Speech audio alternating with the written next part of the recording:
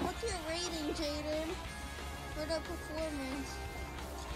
Was it a good style? 10 out of 10?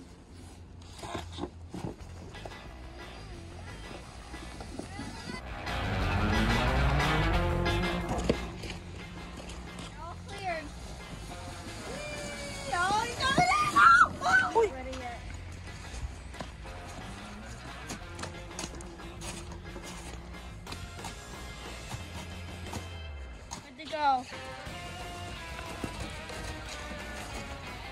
Yeah, let's